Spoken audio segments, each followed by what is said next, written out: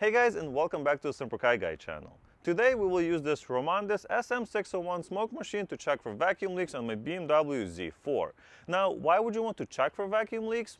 Well if your car has a rough idle, dies out of nowhere, sputters, has a hissing sound coming from the engine bay, or there is an air-fuel ratio code present, you may have a vacuum leak.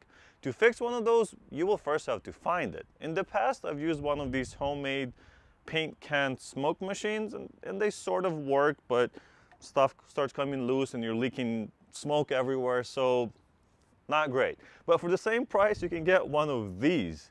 So let me show you what you get in the box first, and then we'll get to testing.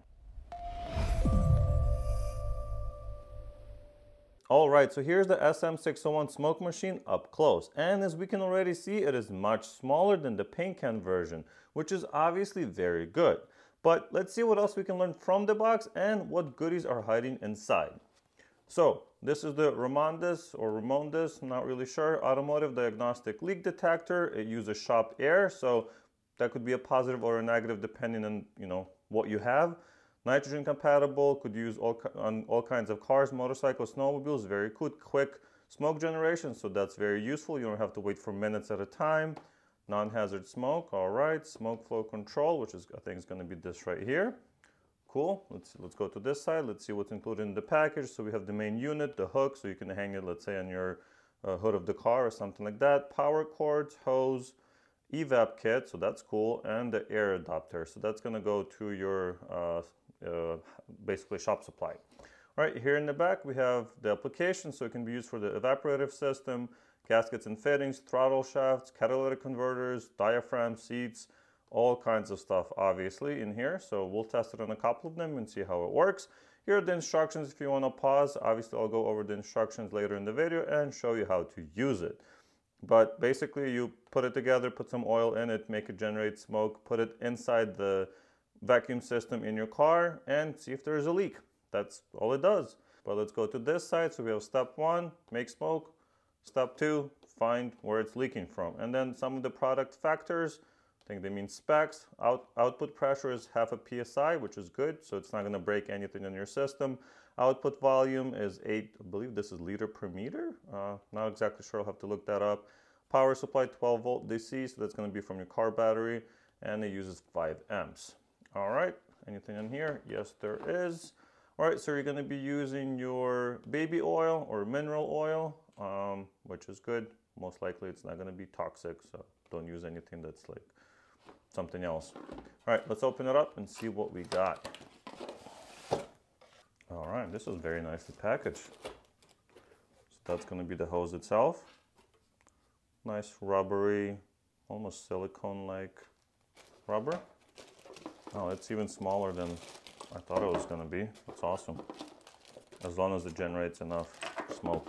We got the hook, we got our power leads, and we have the evap adapter and the, uh, the one that goes to your compressor. All right, so here is the unit itself. Wow, this is much smaller than I thought it was going to be, which is awesome. I really, really like that. You can regulate the smoke from here yeah, that's the unit itself. You have your power on off button here in the back. Power plug.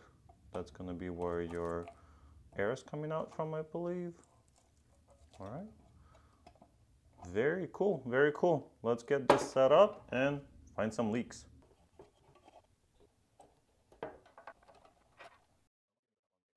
All right, so here it is fully assembled. We have our air compressor quick release. We have the hook connector. This is where you fill the mineral oil. And then this is you're going to be max. So we're going to fill it from here and see once it reaches this point. Then we also have a power on and off button, power connector plugged in, and the hose that will be actually expelling the smoke here as well. So pretty easy to configure so far. Let's go down back to the car and get testing. Before we start testing, I did put some Teflon tape on this connector right here and tighten it to as tight as I could with my hands and now it's no longer leaking any air so that's probably something you'll have to do as well. So I'm just going to use this mineral oil I got from my local grocery store and fill the unit. So I only have that much left. I hope that's enough. And hopefully I won't spill too much.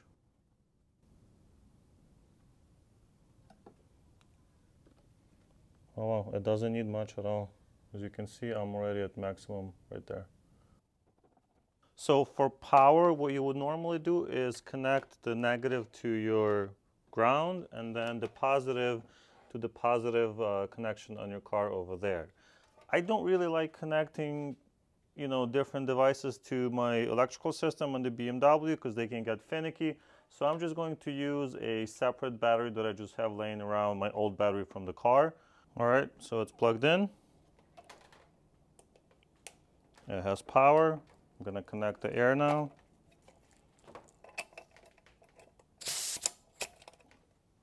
And here on this side we have a little regulator to see how much uh, actual smoke is. Look, it's already smoking. Wow, that was really fast. So we can have a lot of smoke. Whew. Okay, that went in my face. Or close it completely so there is no smoke being introduced here. Very cool. The old stuff I used before, that paint can stuff, yeah, it just, you plug it in and it's sparking and producing smoke. This is way more advanced. Look at that. So cool. And that's a lot of smoke too. Awesome. Now that we have our smoke machine working properly, it's producing dense smoke and it's producing it consistently, now we need to prepare the car. In order to prepare the car, we have to block off exits where the air could escape, right? So in this case, if we were to introduce the smoke into one of the vacuum lines or into the intake system, it will just exit through the filter out of the out of this part where the air normally enters the car, right? So we have to take the air filter off or at least get this charge pipe to the side where we can block it or we can actually use it to introduce the smoke into the system. So let's do that now. this. All right, so now we have our pipe where we can introduce the smoke. Of course, you can get a BMW specialized uh, tool that will fit into this pipe and then block it completely.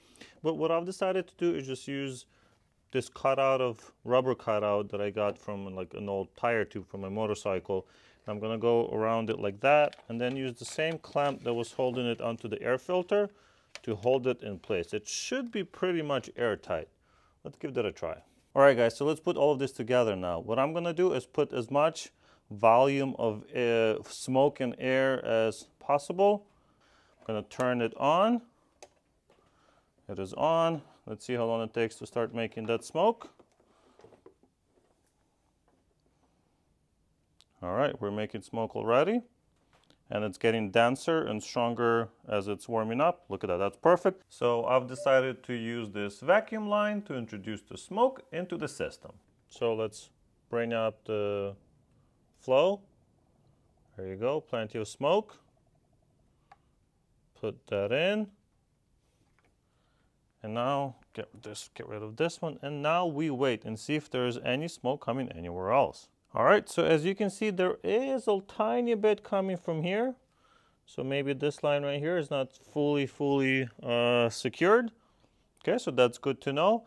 I am looking at other parts of the car, so let me take the camera off the tripod and I'll show you around. And we have a tiny leak over here on the valve regulator, I believe. Now let's move around the car and see if there's anything else. Okay, I do see a tiny bit of leakage on my on my uh, job right here, but that's not that much. I don't think you can even see it on uh, on the camera. So that's good. We're gonna check around a little more, see if there's anything else. All right, nothing else. So this seems to be good. Looks like this car only has a tiny, tiny leak over there. Uh, which could be the cause of my uh, code that I received a couple of times. It's not. Doesn't happen all the time, but once in a while I will get a code that says that fuel-air ratio is a little bit too lean, which this could definitely cause. Just to show you what a bad leak would look like, I have connected the smoke to a vacuum pipe on the other side. And what I'm going to do is just disconnect this one right here. This is also a vacuum line. See right there? So if you see something like this, you have a big, big problem, right? Of course, hopefully you don't see anything like that and it's just a tiny little bit somewhere where you may need to change a gasket or uh, tighten up the clamp, whatever it may be. This is a good way to find out. All right, so what have we learned today? Well, I think we've learned that this little device can save you a lot of time and money by doing this yourself. A shop would definitely charge you at least a few hundred dollars to do this test and you can get the device for a little under a hundred dollars and the mineral oil is like two dollars at your grocery store or Walgreens or something like that. So that's pretty cool. Uh, it produces a lot of smoke, which is what you want. Pretty decent pressure for what you would be using this for. But we've learned that you can troubleshoot your car on your own without having to take it to a shop. Of course, you may want to get one of these plugs yourself. You know, they're probably like five, ten bucks on Amazon. So get one of those to plug it up easier and use one of the other lines to put the smoke in.